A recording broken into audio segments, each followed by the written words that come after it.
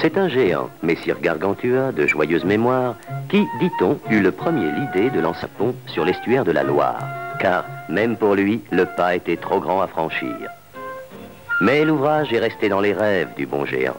La tâche était sans doute trop difficile. Il préféra laisser à la postérité le soin de réaliser son projet. De la légende à la réalité, il n'y avait qu'un pas, mais un pas de géant. La légende, une pierre, la pierre de Gargantua. Un menhir planté dans le marais près de Mindin et, curieuse coïncidence, sur le tracé du pont de Saint-Nazaire-Saint-Brévin. La réalité, l'ouvrage d'aujourd'hui, fièrement dressé aux portes de l'Atlantique.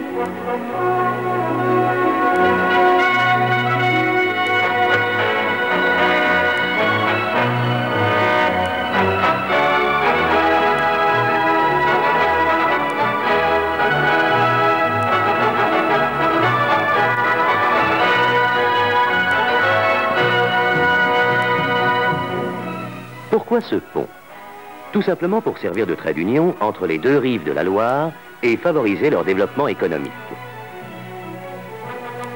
Il s'inscrit en pièce maîtresse dans la route bleue qui relie la Bretagne du Sud à la Vendée.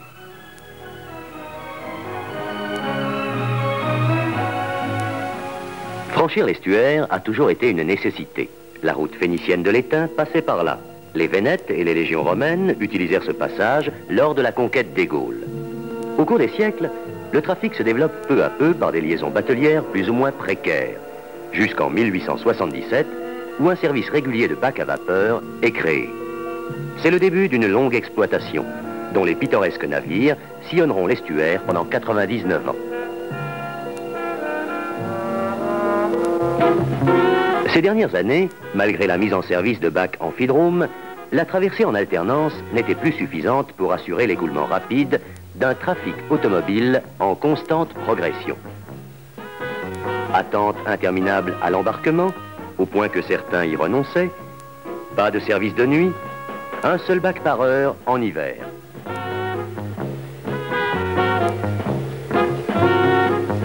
Et c'est bien sûr en été que la situation devenait impossible par l'afflux de touristes de plus en plus nombreux. La région offre en effet de vastes ressources. Région privilégiée. Un climat d'une exceptionnelle douceur. 1000 heures d'ensoleillement par an, de juin à septembre. Et tous les plaisirs de la mer.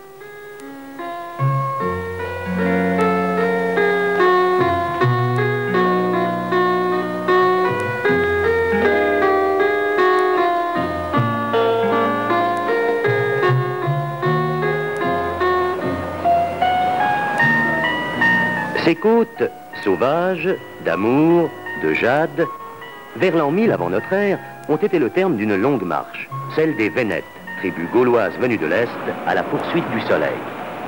En découvrant la mer, ils apprenaient aussi que des hommes les avaient précédés sur ce sol. Une civilisation de la nuit des temps qui n'a jamais livré son mystère. Notre esquisse serait incomplète si elle ne comportait pas un port de pêche, décor apaisant pour les uns, lieu de travail quotidien pour les autres.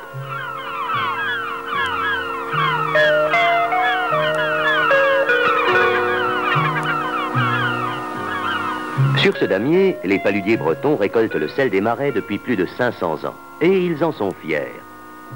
Comme ils peuvent l'être de leur paysage. Du somptueux château aux vestiges de l'histoire. De l'humble chaumière au charme miroitant de la partie la plus secrète de la région, royaume de l'eau, des roseaux et des oiseaux migrateurs, la Grande Brière. La Loire-Atlantique, c'est aussi son dynamisme économique, clé de son essor.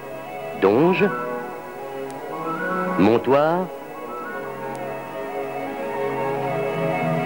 et bien sûr Saint-Nazaire, au passé héroïque, premier chantier naval français de réputation mondiale, constitue un complexe portuaire et industriel aux dimensions du monde moderne. Le décor est planté. Il reste à lever le rideau sur une aventure exceptionnelle, la construction du pont de Saint-Nazaire-Saint-Brévin. L'ouvrage est financé par un groupe d'entreprises et d'établissements privés, par des collectivités départementales et locales, au moyen d'emprunts garantis. Théâtre des opérations, l'immense estuaire. Au service de la Société d'économie mixte, deux grands rôles, la SGE et la CFEM. L'action commence un matin de juillet 1972 par la réalisation des fondations. Elles sont sous-traitées au groupement des entreprises Morillon Corvol Courbeau et A. Dodin. Premier travail, les fondations des piles principales encadrant le chenal de navigation. 18 pieux de 1,80 m de diamètre pour une pile principale. La mise en œuvre est ici particulière. Elle tient compte du schéma de montage de l'ouvrage central métallique.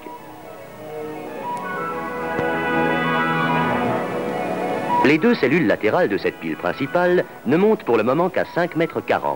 Elles resteront à ce niveau jusqu'à la mise en place de la travée de rive. Le battage des gaines métalliques exige une grande finesse d'exécution. Il s'agit d'ancrer sur le sous-sol rocheux, à des profondeurs de 15 à 50 mètres, 258 pieux en béton armé tubé de 1,50 m à 1,80 m de diamètre. Des carottages de contrôle ont montré un parfait contact béton-rocher.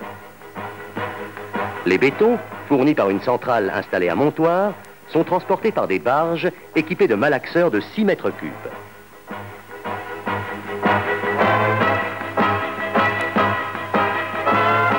Les plus grands pieux représentent un volume de béton d'environ 125 mètres cubes.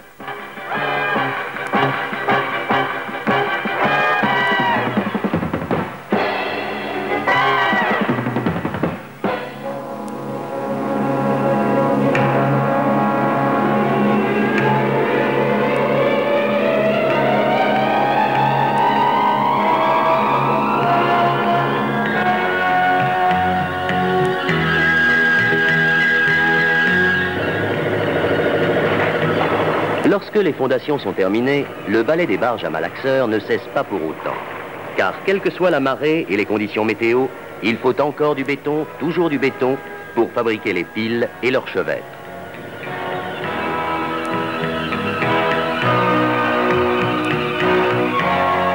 À partir des semelles en béton armé, les piles sont réalisées par coffrage glissant.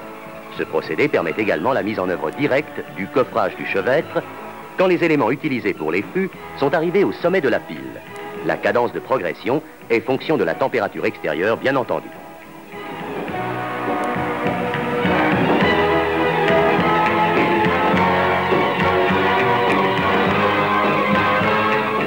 Les piles terminées ont la forme d'un double H.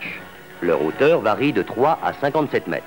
Elles sont toutes construites de la même façon, y compris les piles culées de l'ouvrage métallique et s'espace de 50 mètres en 50 mètres sur toute la largeur de l'estuaire. Les 208 poutres des viaducs sont préfabriquées sur les remblais d'accès.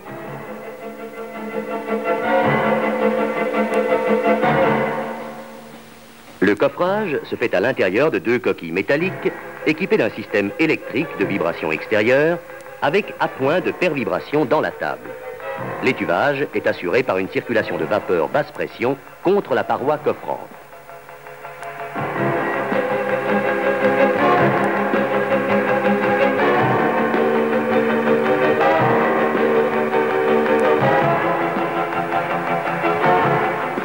Les 10 câbles de précontrainte sont mis en tension 20 heures après coulage, lorsque le béton a atteint 250 à 260 bars de résistance. Chaque poutre a 50 mètres de long et pèse 190 tonnes. La cadence de fabrication est de 3 à 4 unités par semaine.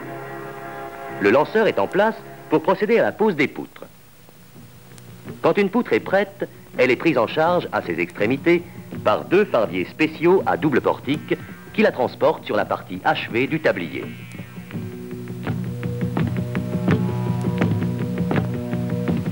C'est alors au lanceur d'entrer en action.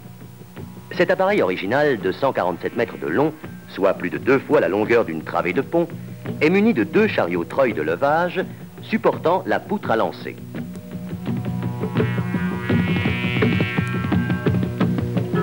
Il prend appui sur des systèmes de roulement conçus pour permettre aussi des déplacements latéraux. Le lanceur et la poutre avancent alternativement au-dessus de la partie du tablier en cours d'achèvement et arrive ainsi à l'aplomb de la travée à construire.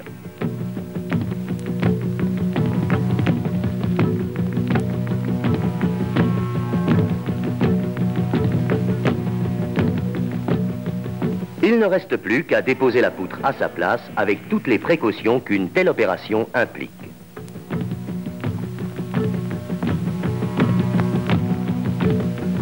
Les quatre poutres d'une même travée sont reliées entre elles par une ligne d'entretoise à chaque extrémité et par un ourdi intercalaire.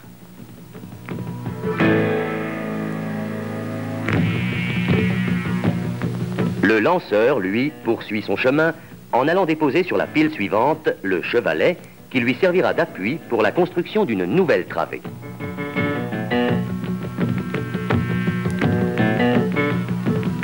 Dernière opération, la pose des corniches et des garde-corps.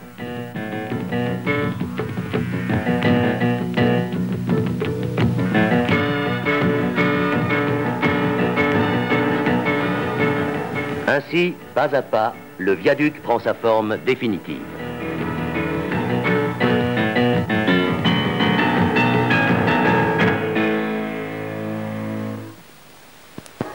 Voyons maintenant ce qui se passe du côté de la CFEM, et d'abord dans son usine de Fos-sur-Mer, près de Marseille. Ici, il ne s'agit plus de béton, mais d'acier. Nous arrivons au moment où deux tronçons de 96 mètres sont prêts à prendre la mer. Comment ont-ils été fabriqués? À partir de sous-ensembles provenant de deux autres usines CFEM, de l'Auterbourg dans l'Est, les diaphragmes intérieurs, les trottoirs en tôle pliée et les objets de raidissage de blanc-misseron dans le nord, les plattelages, les tôles de fond et les âmes. Ces divers composants assemblés ici constituent les caissons de travée par tronçon de 16 ou 96 mètres. Ce fractionnement de l'ouvrage métallique a été déterminé par la recherche du meilleur compromis entre le mode de montage choisi sur le site et les conditions optimales de transport jusqu'à celui-ci.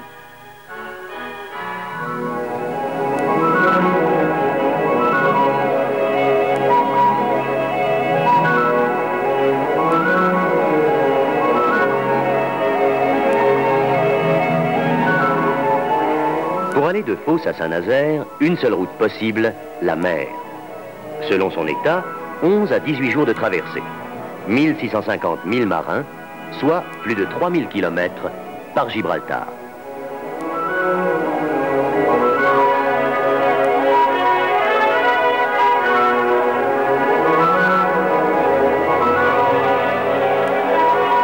Arrivé à Saint-Nazaire, le convoi rejoint un autre tronçon de 96 mètres. Dans le bassin de Penouette, les deux éléments sont soudés pour former une travée de rive de 192 mètres. Cet assemblage permettra le hissage de la travée complète.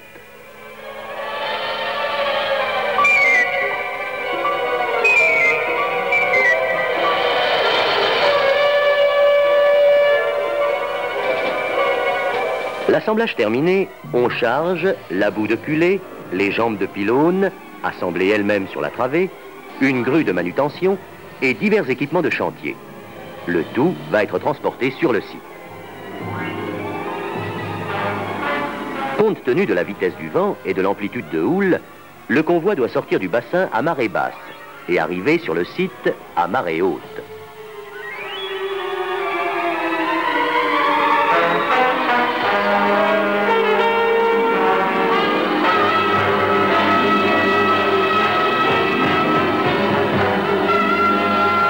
La travée de 192 mètres est présentée entre une pile principale et une pile culée. La marée est descendante. Les pontons transporteurs sont amarrés sur des corps morts mouillés en Loire. Par un réglage fin des amarres, on ajuste avec le maximum de précision la position de la travée. L'étal de basse mer et un ultime balastage des pontons permettent de poser la travée sur ses appuis provisoires de hissage.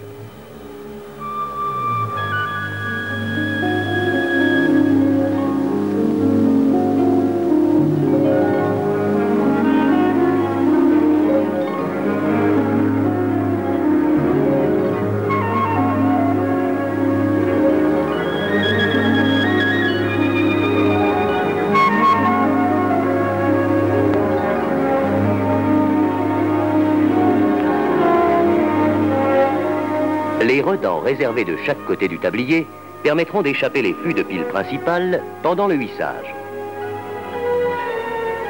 Le moment est venu de couler les cellules latérales de la pile principale, toujours selon le procédé de coffrage glissant.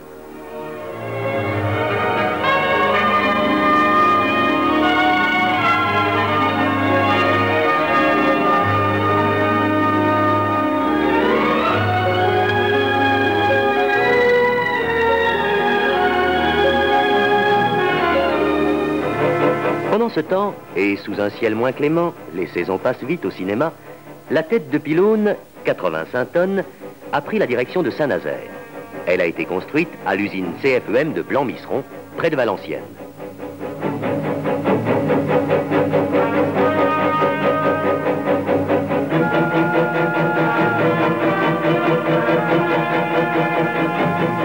Avant le hissage, la tête de pylône est placée sur la travée de rive.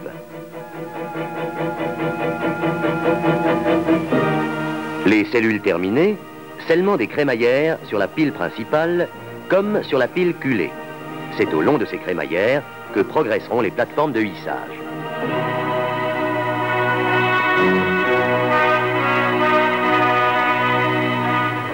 Et c'est le jour J.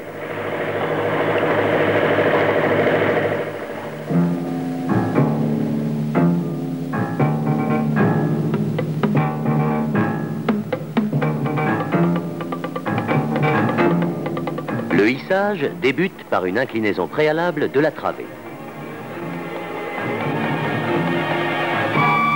Sur la pile culée, une double plateforme en porte-à-faux reçoit les deux appuis articulés de la travée.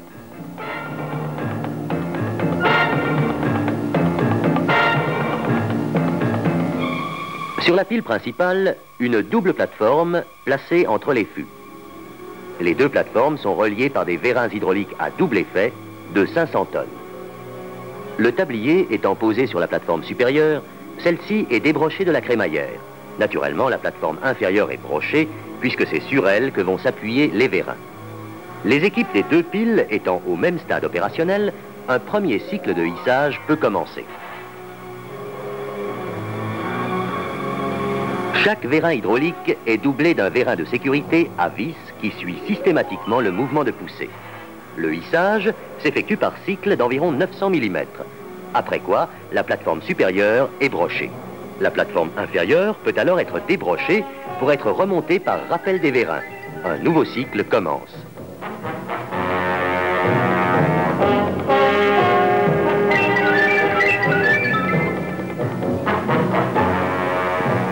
Chaque cycle est fractionné en 9 courses élémentaires, autorisant le contrôle répété de l'assiette du tablier et la répartition normale de la charge entre les vérins. « 44 levées en 4 jours amènent le tablier à sa cote définitive.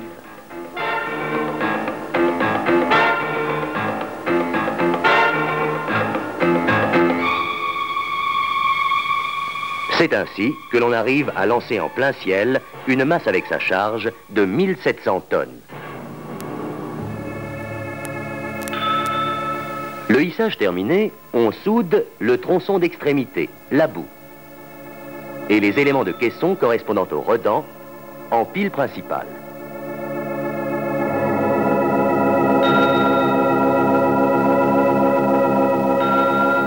Le tablier est maintenant sur ses appuis définitifs.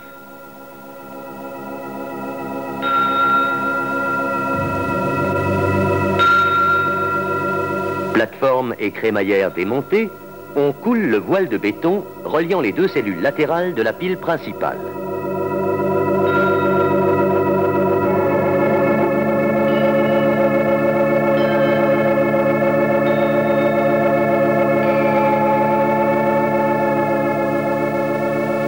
Le chantier des poutres précontraintes est installé sur la rive sud, le viaduc nord étant terminé. Pendant que le viaduc sud, tranquillement mais sûrement, inscrit dans le ciel son élégante silhouette, au nord, sur la travée de rive, on se prépare à relever le pylône à l'aide de deux mâts, eux-mêmes dressés par un mât auxiliaire.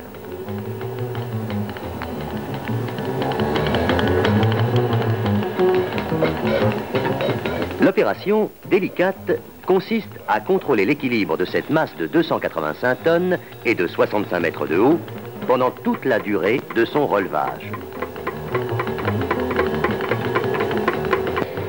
Aux deux tiers de la course, on accroche un contrepoids de 20 tonnes pour garder le centre de gravité du même côté et éviter tout risque de renversement.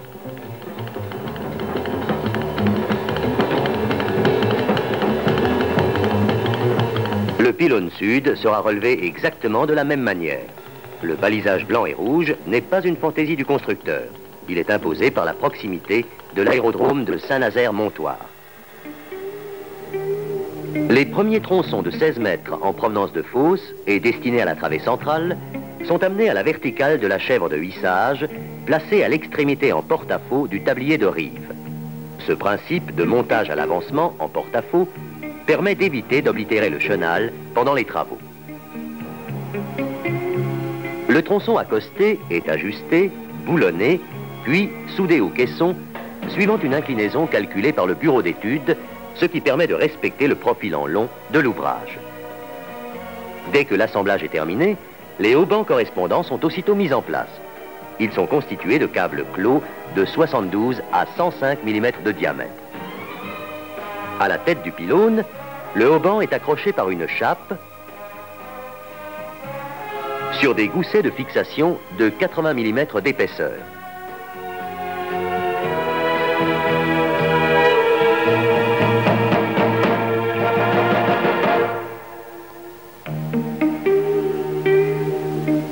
Côté tablier, le haut est tiré par un système de vérin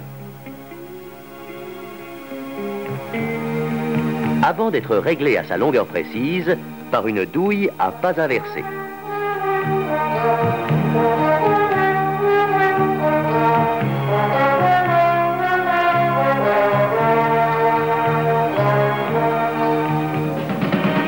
Cette série d'opérations s'est renouvelée chaque fois qu'un tronçon de 16 mètres était raccordé au tablier.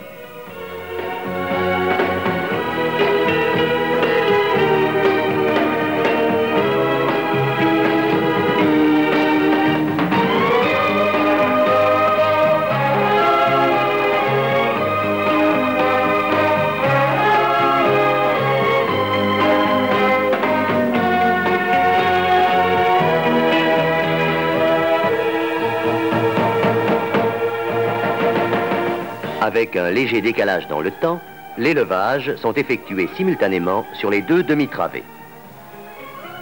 Au total, 20 tronçons de 16 mètres et de 100 tonnes chacun seront ainsi mis en place.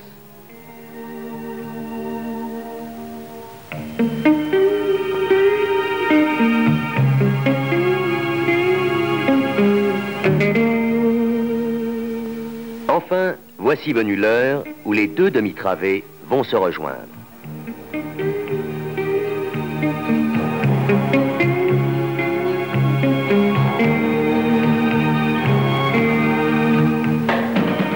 L'homme qui traverse le premier apparaît comme un symbole de bon augure. C'est gagné, ou presque, car il reste encore à poser l'ultime tronçon, la clé. Cette clé qui va ouvrir le pont à tous les espoirs. Mais n'anticipons pas. Avant d'être officiellement ouvert à la circulation, le pont doit être soumis à une série d'épreuves destinées à vérifier son comportement par rapport au calcul prévisionnel. Essai statique, 14 camions chargés à 37 tonnes chacun, soit plus de 500 tonnes sur chaque travée de rive.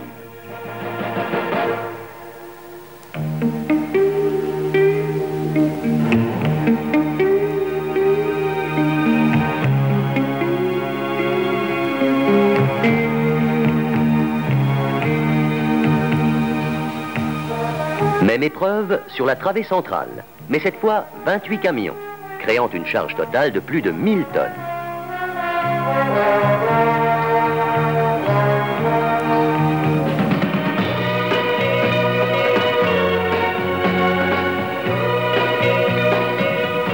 Essai dynamique, contrôlé au laser, sous charge roulante à différentes vitesses de déplacement, véhicule en ligne ou de front.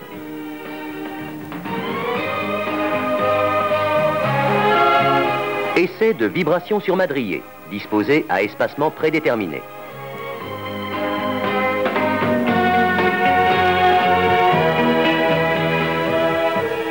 Pour un avion, des essais en soufflerie ont été menés lors des études pour déterminer la stabilité aérodynamique de l'ouvrage. Toutes ces épreuves ont donné satisfaction. Le pont de Saint-Nazaire-Saint-Brévin est bon pour le service. Gabarit de navigation, 61 mètres de tirant d'air sur 300 mètres de largeur.